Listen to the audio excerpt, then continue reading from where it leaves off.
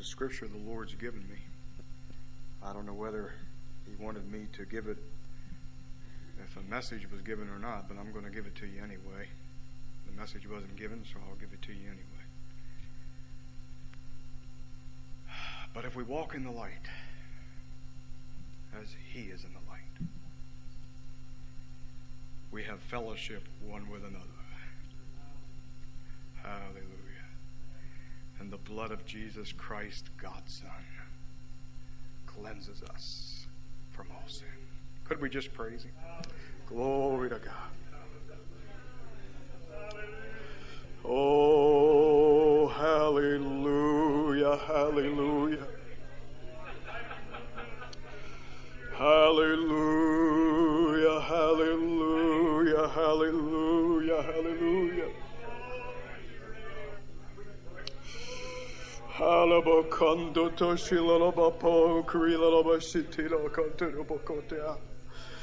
Oh, hallelujah, hallelujah, hallelujah. Glory, glory to God. We thank you for that fellowship, Lord. Hallelujah. We thank you for that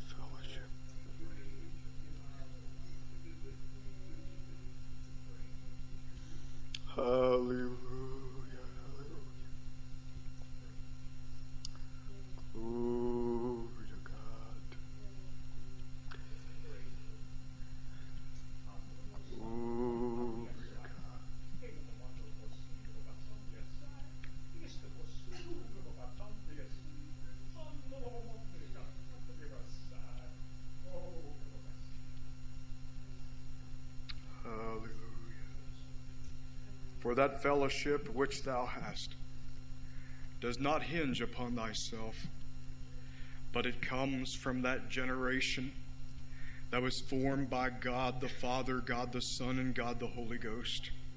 When they got together and they said, Let us make man in our own image, that we may have union and fellowship together. And yea, the Holy Spirit of God yearneth even this evening that his people might unite their hearts together in true fellowship and in true love. For yea, this was the message of Jesus Christ, the Son of God, that we should love our brethren as ourselves, uh, and that we would unite ourselves together and bind our hearts together so tightly joined that there would be no interference from the world. So stay close to the Lord. Let that love and that fellowship that's generated when the people of God come together, let it be meat and drink to your heart. Let God, your Father, strengthen you even this night for that which thou hast to face tomorrow. Glory to God. Hallelujah. Hallelujah. Hallelujah.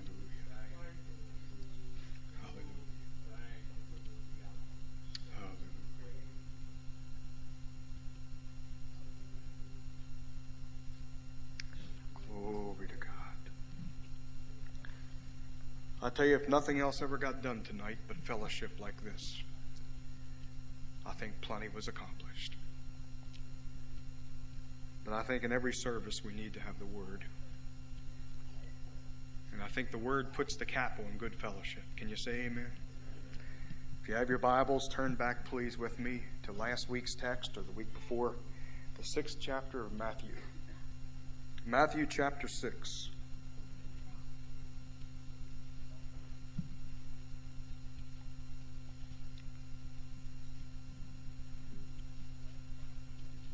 In our last Bible study, we began a study on how should we intercede in prayer. And we only got through just the first point of my study for that particular night. We are to pray to God. Whenever we say we're to pray to God, we have three applications. When we pray to God, we can pray to God the Father, we can pray to God the Son, or we can pray directly to God the Holy Spirit. And we taught you that there are three reasons, many reasons, but we tried to bring it into three categories why we should pray to these different personalities of God. And if you remember correctly in your notes, if you took notes, that we, we taught that we pray to the Father for wisdom, for knowledge, for that knowledge that we can't find on this earth, for the word of wisdom, for the word of knowledge. I believe tonight God was speaking to our hearts. I believe He wants to remind us, even though we, we don't need to be reminded, really. We hear it all the time. But yet I think we do because we forget so easily. We need fellowship. We need to get together. We need to attend church. That's where you get strength. And I believe that Bible, the scripture the Lord gave me in St. John. But if we walk in the light, in the Word as He is in the light, then we have fellowship one with another. And the blood of Jesus Christ, God's Son, constantly cleanses us from all sin. And I added that word constantly, but I believe it's applicable there. I believe that as long as we stay in Jesus, I believe the blood of Jesus is constantly covering us, washing us. How many believes that? I believe it. The Bible talks about that fountain. And I hear the song, the songwriter said, that fountain filled with blood constantly overflows and flows from Calvary's brow onto my sinful body and life. Keeps me clean and strong before the Lord. So there's times when we need to pray to God the Father.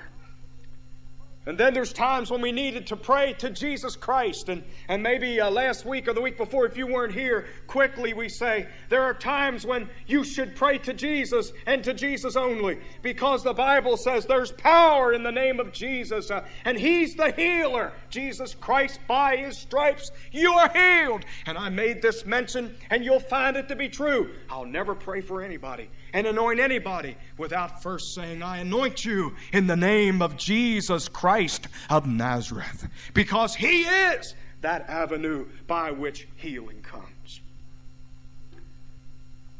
You may need to be delivered from satanic power, any type of deliverance. Do it in the name of Jesus. There's power in that name. Then there are times when we have to pinpoint the problem and we have to go to the Holy Spirit. And I used the song illustration in my last study. Uh, Come, Holy Spirit, I need thee. The songwriter was talking directly to the third person of the Trinity. He was saying, Come, Holy Spirit, I need you on a personal basis. I need you to come. What for? I need you to come for personal power. I need you to come for personal comfort. I need you to come for a personality within a personality that'll make me what I'm not help me to be what I should be. The Holy Spirit gives us the ability to pray when we don't know what to pray for. And I use the scripture, and if you don't mind, I'll reiterate that scripture to you as we begin to go into our new section tonight for tonight's studies. In Romans chapter 8, 26 and 27, likewise the Spirit also helpeth our infirmities, for we know not what we should pray for as we ought, but the Spirit maketh intercession for us with groanings that cannot be uttered. And he that searcheth the hearts knoweth what is the mind of the Spirit knoweth what is the mind of the Spirit of man, and is able to search out the mind of man and to take those thoughts uh, that we're unable to convey and carry them to the throne room, mister, and present them before God. That's how prayers get answered. Aren't you glad for intercessory prayer? Glory to God. Glory to God. Tonight, I start on the part two of our study that we began two weeks ago. How should we pray? And in chapter 6 of Matthew, tonight I want to uh, bypass verses 1 through 8 because that more or less covered what I taught last week. It says not to, to go out and pray in front of a bunch of people just for them to see you, but to go into your secret closet and to get a hold of the one you need to get a hold of. I already taught you that. Either God the Father, God the Son, or God the Holy Spirit. Get down to business when you pray. Make it mean something. Secondly, we are to pray for His will to be accomplished in everything. Notice what the scripture says in verse 10 of our chapter. It says, Thy kingdom come, thy will be done in earth as it is in heaven. I'm so glad that that was installed within this prayer that Jesus Christ put together for his disciples. It's nice to know in an age. I got a letter, and if I'm free to say this, I, I hope I don't offend anyone by this, but there is a lot of teaching going around about, uh, and I've said a few things about this before, but I want to say a little bit more tonight because it's important about prosperity.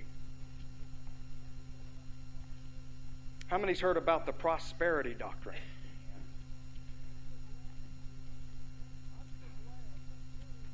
I'm so glad that Jesus Christ Himself put that word, my will,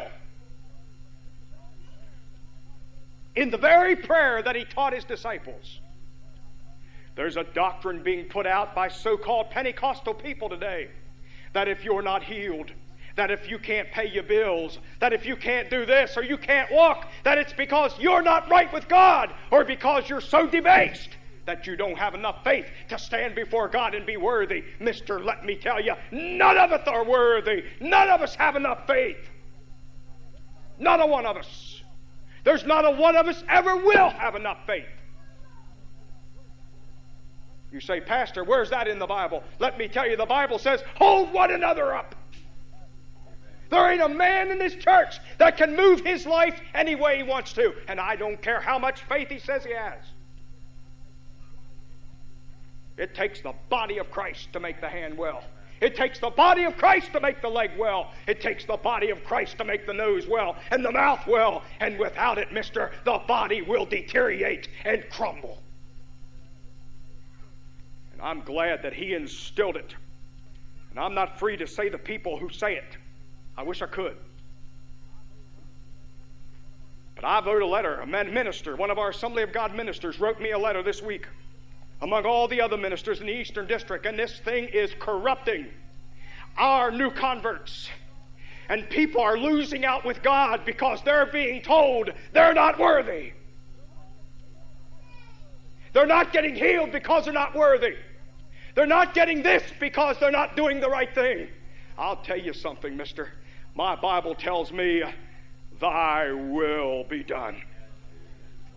And I'll stand on that as long as I live. And if I should die tonight, I'll say it must be the will of God. And I'm not saying that it's right for us to accept death. I'm only saying the Bible says it's appointed unto man once to do it. Amen. And whenever God says it's time, let's do it. I walked into a lady's room yesterday, and Brother Bennett was with me. Sister uh, Vinnie Radcliffe. That woman is deteriorating away. They took a toe off. Then they took a foot off. Then they took one leg off. Then they started with the next toe and the next foot. Then the next leg. She has no legs now. Her arms are going numb. No circulation. It'll be her arms next, and pretty soon she'll be a stub laying there.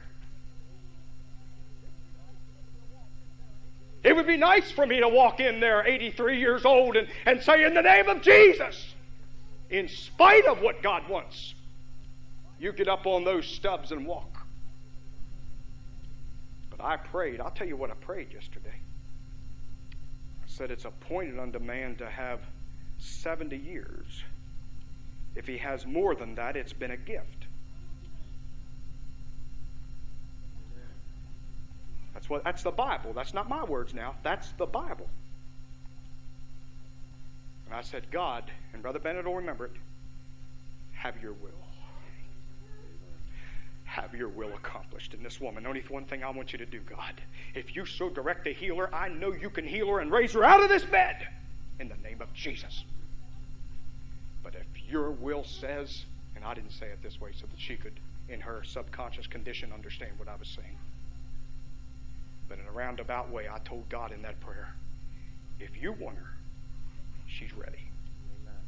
Don't let her suffer, God. If you want her, have mercy upon her and take her home.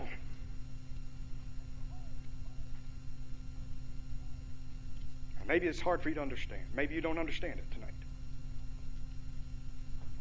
But I'll tell you, I'd much rather know, instead of stepping out on some far fetched limb and taking the Bible and unbalancingly accepting it, I'd much rather say, God, I want to be in the center of your will. Whatever you want for me, I want it. And nobody will, everybody knows, I, nobody believes in healing more than I do. We've had a lot of healings right in this church. And I believe God's able to raise the dead. I have no doubt in my mind if God told me, I'm not going to go. I preach funeral after funeral. God's never told me to walk up to the casket and lay my hand on that corpse and say, Come alive. If He tells me to, I will. But not until He tells me to. And I think it's important for us to get our perspectives, our, is it perspectives? Right. Get our priorities where they belong, even in doctrine. You can use good scripture but you can still distort doctrine.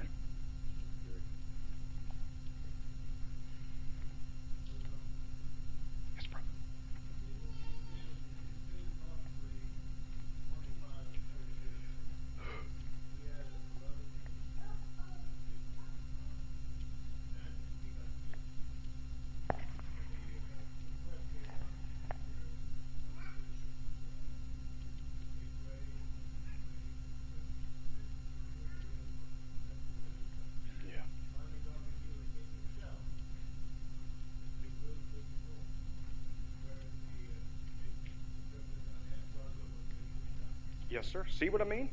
I've had that happen. How many other people have had? I've had that happen before. I've seen families. Do you know that it's possible? You just took words out of my study tonight, brother, because I was going to say this. Do you know, folks, that you can not only speed up the hand of God, but you can slow down the hand of God by prayer? Amen. Yes, sir. Yes, sir. And You know, if people get to praying, God will have mercy. But it isn't always for the good of that person. We see something and we want it, and none of us want to see anybody die. There's none of us here want to. I didn't want to see my mother die. That man didn't want to see his mom die. But thank God they're in heaven. Isn't that wonderful, brother? Hallelujah. There's nothing any better. They're walking the throne of God. They're in the praises of the Lord. They're in better rest than I'll ever experience on this earth. It was their time. I believe the will of God was accomplished, even though it hurt our hearts so bad. I believe there are times when we can't see beyond the will of God. We only see what we'd like. So thus it deters the will of God. Everybody know what I'm trying to get? The will of God. I could preach a whole night on that thing. But I just want you to know, folks, I believe in prosperity. I do. I believe God's able to fill your pocketbook, but not the way one man tried to do it to me a couple months ago. Sent me a letter and said, If you'll send me a $20 bill, I'll put it in a brand new wallet for you. And I'll pray over that wallet, and then I'll keep the $20 bill and send you the wallet, and God will fill that wallet for you. It took everything I had to keep from taking a big blank piece of paper, putting it inside that, and putting on the end of it baloney, and sending it back to him. And people yet are so gullible, they'll eat that up. Folks, let's get our eyes on Jesus. Brother, get your eyes on Jesus. And I'm not saying that everything these people teach is not true, because it is. I'm saying it's unbalanced. I'm saying they're making the Christian look like he's filthy. If he doesn't get healed, he's filthy. That's not true. St. Paul carried something around and I'm not going to stand here and debate it, so don't start it. He carried something around. There was something wrong the entirety of his ministry. And there wasn't a man on earth had any more power with God than Paul. Jesus Christ himself had to go to the cross and die. And he was the Son of God. Who am I that I should not suffer just a little for the name of Jesus' sake? Just a little. Well, I got to get off of that subject. Remember, we are to pray for his will to be accomplished. And if you'll turn to Matthew chapter 25.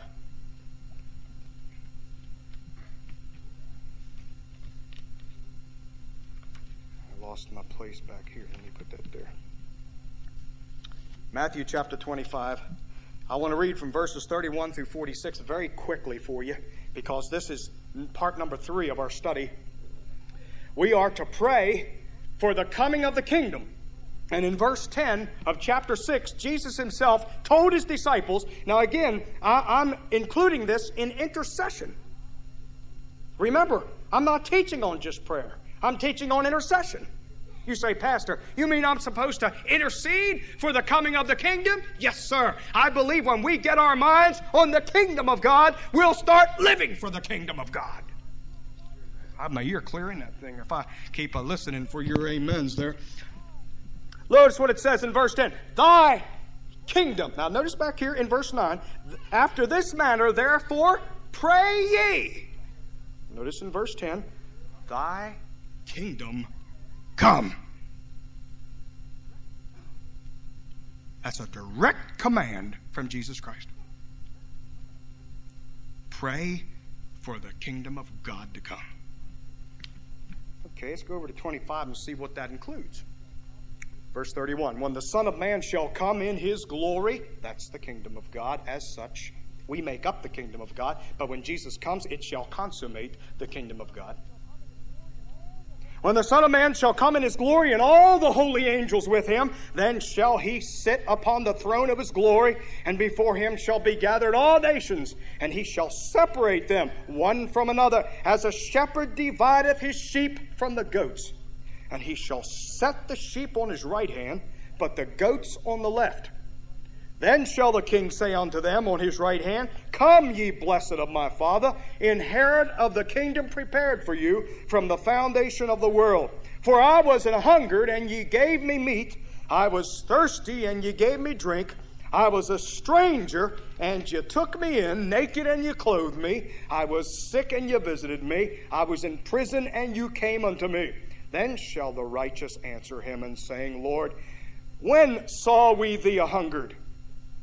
And fed thee, or thirsty and gave thee drink? When saw we thee a stranger and took thee in, or naked and clothed thee? Or when saw we thee sick or in prison and came unto thee? And the king shall answer and say unto them, Verily I say unto you, inasmuch as ye have done it unto one of the least of these brethren, ye have done it unto me. Jesus was talking right there about the judgment seat of Christ. When every saint shall gather judged for his works. Then shall he say also unto them of the left hand, which shall happen when? Somebody tell me out loud, when shall the left hand be brought to judgment? We had a study on this not too long ago. What is the throne called? The great white throne. That's going to be the last judgment when the left hand, the goats, are going to be brought to judgment for their sin. The dead in sin and those who are alive shall stand before the white throne judgment. And notice what it says here now. Where was I? Somebody help me. 41. Then shall he say unto them on the left hand, Depart from me. Isn't that what it says in, in the book of Revelation? Depart from me, ye cursed, into everlasting fire prepared for the devil and his angels. For I was a hungered, and ye gave me not meat. You say, Pastor, what does that mean? It means that when we were here, we refused to preach and pray the kingdom of God. That's what intercession's all about. You expect, and I expect, the lost to come into this church. Brother, let me tell you, if we don't pray them in, then we won't get them in. Remember that. All the talking you ever do will not amount to a hill of beans if you don't have prayer warriors who are on their knees interceding before the throne. Everybody with me tonight, do you understand what I'm getting at? That's why they're going to be separated. That's why Jesus, I never saw this before until this study. This is the first time I ever gave this study.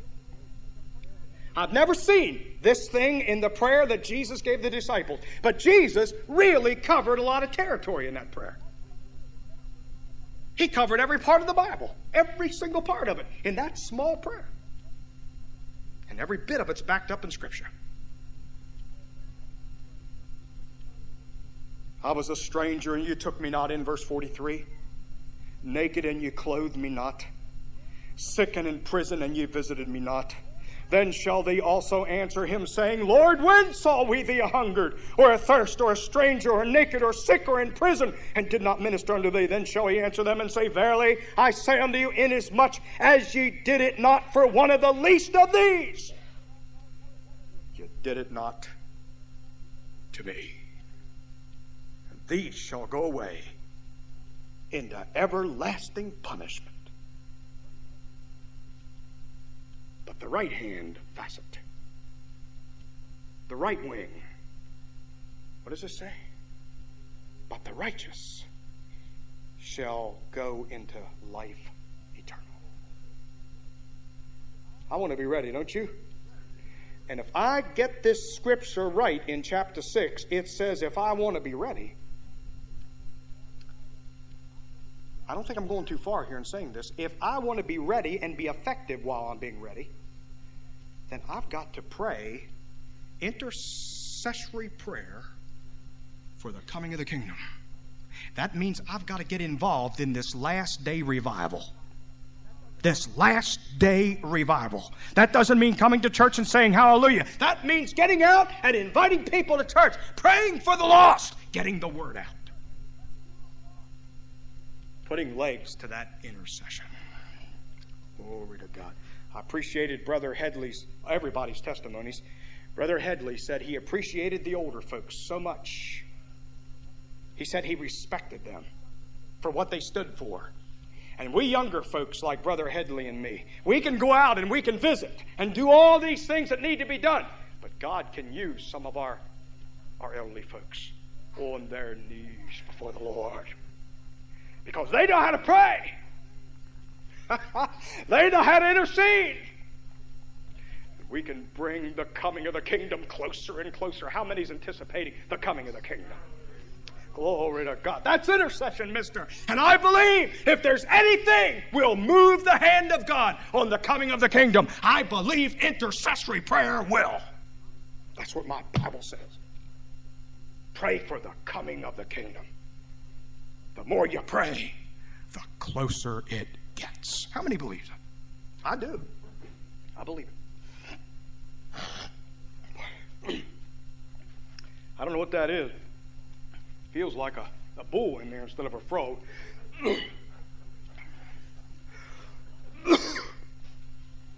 Could uh, maybe somebody get me a drink? I, I don't think I'm going to get over this one. My Adam's apple's just about wound up with it. Whatever it is, there in chapter 25. In chapter 25, it tells us as we pray for the coming of the kingdom, it includes the day of judgment. It includes the separating of the sheep and the goats. It includes the eternal life for the righteous and everlasting hell and damnation for the lost. You say, Pastor, I don't think I like the idea of praying for people to be lost. Let me say something to you. You know what the Bible says about it? The Bible says not to cast your pearls before swine. I believe there's an amount of time when you're to give the gospel. I think there's an allotted time when you're to, to spend time with a certain person and then you're to turn them over to the Lord. Thank you, brother. What would happen, and I used to do this, I wouldn't get very far here as a pastor, visiting people, if I went back and visited every week some of the people that have promised me to come. I'll probably be visiting from now till doomsday. As long as God lays that on my heart, I'm to go. But one time or another, God's going to say, okay, I draw the line. There's somebody over here that needs you worse. Follow through. So, this is a balanced thing where you have to find the will of God. Our visitation committee is right in the middle of this thing, and that's why it's important that they pray before they ever go out because you got to know where God wants you to go. You have to feel the urgency of the hour. Who really needs you the worst? I was running down the road today with Brother Morris. We had left the house this morning intending only to go to the hospital and see one man. And we ended up, I don't know how many stops we made. Every time I'd go down the road past somebody, the Lord would say, You ought to stop. I'd say, Brother Morris, do you care? Well, no, brother, I don't care. It's you I got all day, I got all day. And we'd stop. And you know, we really had a chance to minister several times for the Lord. The young Craver, used to be a Craver girl that married Brother Helmick. Last night he had a car wreck. Two drunks hit him head on, just mashed his vehicle all to pieces. Chest broke a steering wheel, but God brought him out of it. We stopped this morning and ministered to him just a few minutes.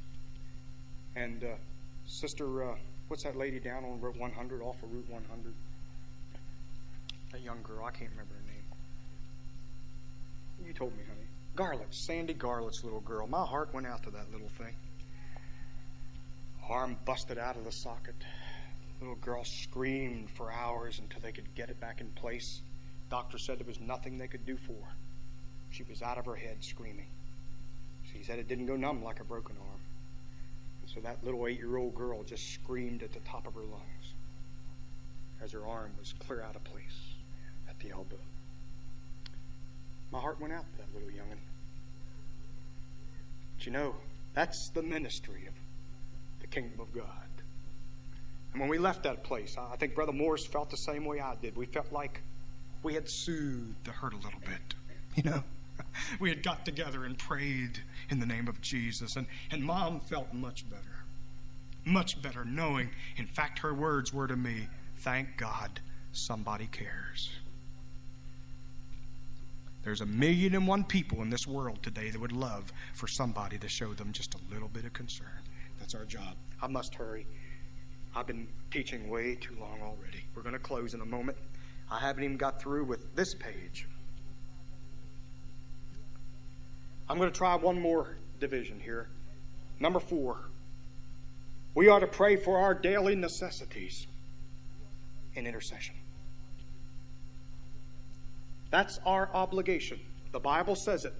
I want you to follow with me here in verse 11 of chapter 6. It says, Give us this day our daily bread. This was Jesus' own command to his disciples. Don't you catch yourself begging bread. The Bible even says in many passages, and in one particular, that God will not allow his people to go begging bread. Jesus says, Seek me for your daily necessities. If somebody offers you something, you best take it.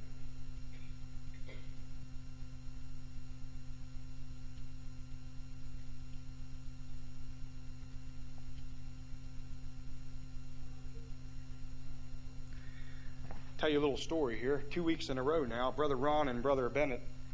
By the way, Brother Headley, I'll be getting with you. If you like to do visitation, I'm going to take you with me one day. Okay? Some of these other miners here. Brother, Brother Howard, some of these guys. I'm going to take them with me. I took three already Brother Santucci, Brother Ron, and Brother Bennett. Two weeks in a row. I don't know what it is with Brother Ron and Brother Bennett, but I barely got Brother Ron home two weeks ago, and the wheel bearing went out of my truck just in time to park it right in front of Brother Wes's door. And I left it. This week, I mean, we run over awful roads. That old pickup, and it was a bouncing around and tearing around. I was doing the tearing, it was doing the bouncing. And, and Brother Bennett was holding on with both hands. I think a couple times he really was praying hard. But you know, God kept us safe. I got him home, and I noticed when I stopped, I said, That tire looks like it's getting low. Do you know that tire had separated? I guess I hit the, one of those deep ones way, way too hard. And uh, we rode all day. And when I got that thing home and got out of the truck and walked up to the house and looked back, it went. Phew. God kept that thing. Two weeks in a row. So let me tell you, you pray and you get a hold of God, and I ask God every day when I go on visitation because I don't know whether to trust the old truck or not. Uh, Brother Mason, that's not speaking much for it. I'm not helping on the sale part of it, but uh, it's a pretty good old truck, but still I, I worry sometimes. Uh, somebody's wanting to buy it, and that's not helping on the sale of it. But, but um, got to be honest with you, sometimes I do have second thoughts when I go out in the old thing. But God never lets you down. Eh, can you say amen? He never lets you down. He stays with you 100%. And that's why I think it's important. Jesus gave his disciples, he says, you don't have to stack up everything in your rear door and have everything ready. If you can do that, fine. But he says, Let me tell you something, gentlemen. He said, The kingdom of God comes first. And he says, When your necessities come up, you pray for them, and God will provide them. That's why I preach it, and I always will preach it. Put God first. I'll guarantee you, He'll never let you go hungry. He'll never let you go hungry. In closing, We're to pray daily for daily forgiveness. I don't know about you, but I can't go to bed at night unless I've asked Jesus to forgive me of my sin. I can't rest. Because I don't know what would happen if I would have committed a sin that day. Well, I do know what would happen. You know, I had a pretty good doctrinal argument with a man one day about this. He said, You can't tell me that a man that has lived for the Lord all his life and then committed one little sin and went to bed and went to sleep without getting it covered with the blood, if he's committed sin and not asked God to forgive him, wouldn't go to heaven. I said, Sir, I said, I believe that no sin will enter heaven. I find no place in the scripture where any sin will enter heaven. And if that sin in your life is not covered with the blood, then if that sin's in your life, you nor the sin are going to enter.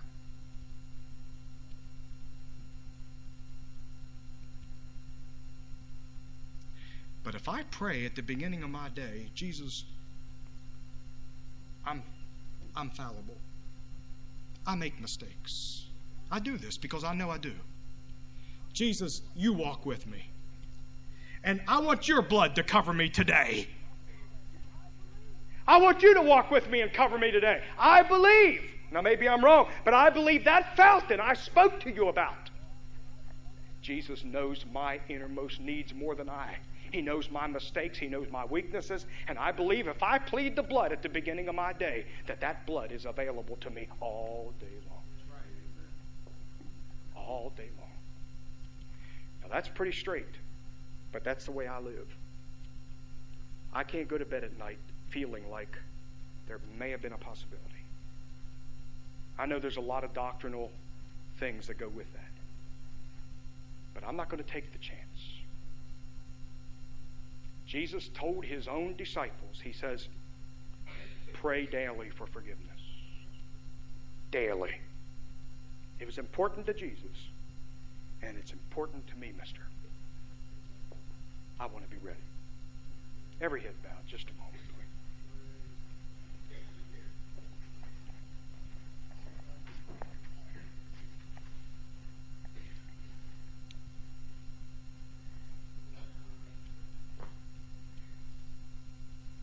We're going to be touching on this subject probably the week after next on what hinders prayer. There are a lot of things that hinder prayer, but tonight I'm going to touch just briefly on this. A lot of times we get in the mood to pray. You know, we can get spurty.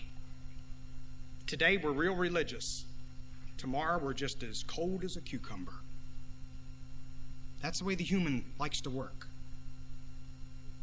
But you know, that doesn't work with God. I believe it's important that when we get a desire to pray, that we make sure that we're in a position to pray. I believe our hearts have to be right with God. John chapter 15, and one of the brethren in our church and I have talked about this chapter many times. John chapter 15. It tells you some of the requirements for effective prayer. And I'll tell you, folks, tonight my prayer to my Jesus is that not only that I be an intercessor for this town and for this church, but that I be an effective intercessor, one who has obeyed the word and the policies of God.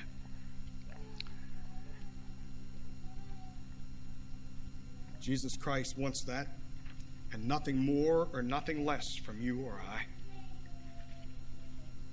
We're going to stand in just a moment, but I'm going to pray first. And we're going to gather just for a moment around the altar and ask Jesus to make the importance of intercession at home real to our hearts. Let us pray. Father in heaven,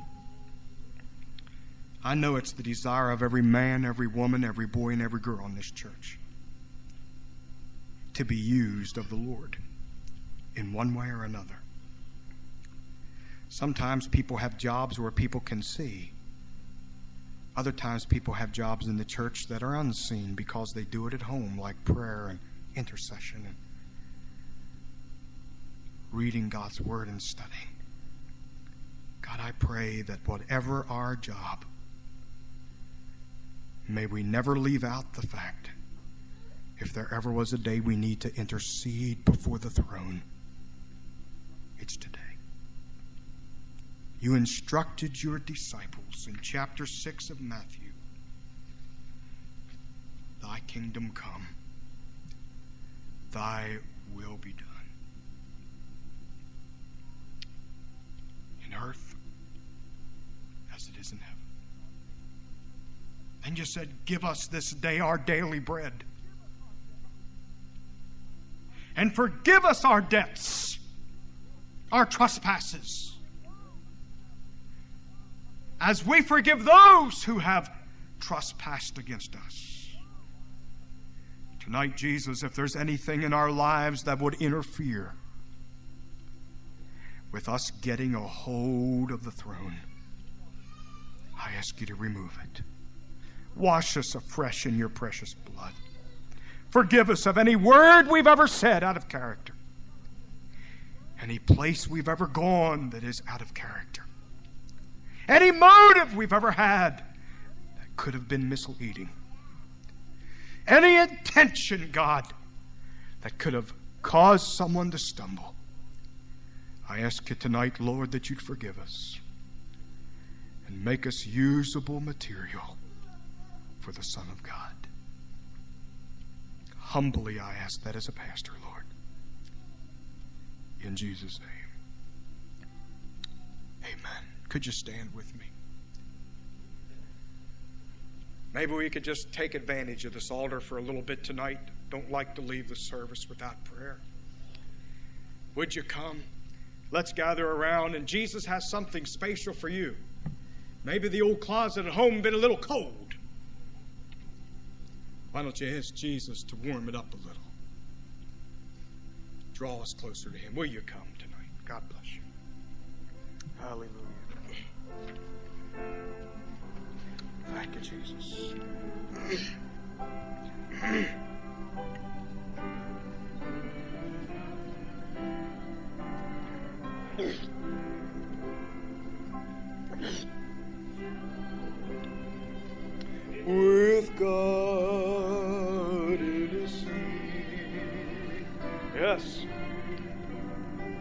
Beautiful illustration of intercession. beholding